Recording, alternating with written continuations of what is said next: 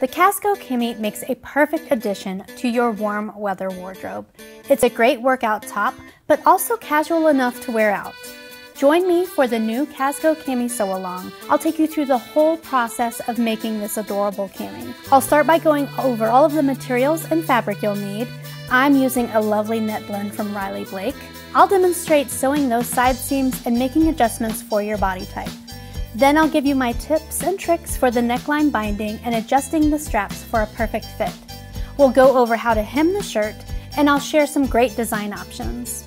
Head to our YouTube channel for the video tutorial and go to sewdaily.com to register for the free pattern. This is a free sew along and when you register, you're automatically entered to win a Husqvarna Viking serger and a fun prize pack from Riley Blake.